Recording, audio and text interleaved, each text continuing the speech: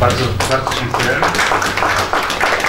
E, Szanowni Państwo, tak jak już wspomniał Roland w swoim wystąpieniu, e, czujemy się zaszczyceni, że zaproszenie do udziału w dzisiejszym spotkaniu, w dzisiejszej konferencji przyjęli e, prelegenci reprezentujący po pierwsze dwa różne kraje, ale, ale także dwa różne pokolenia historyków ruchu robotniczego.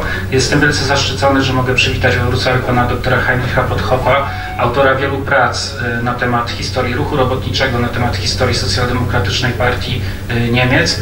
Pan doktor Heinrich Podhoff w latach 1989-2003 pełnił funkcję wiceprzewodniczącego Komisji Historycznej SPD.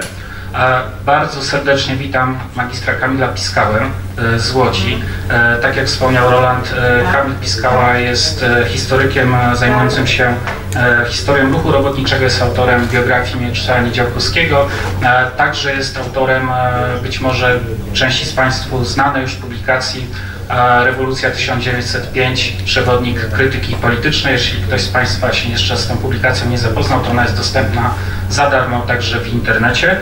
E, I Szanowni Państwo, żeby nie przedłużać, e, oddam głos panu doktorowi Podhofowi, potem pan Kamil Piskała, potem będziemy mieli około pół godziny czasu na ewentualne pytania. O godzinie 19.30 zapraszam Państwa e, na poczęstunek. Także Kamilu, Ciebie zapraszam już tutaj, a panu doktorowi Podhofowi oddaję mównicę. Bardzo proszę Panie doktorze.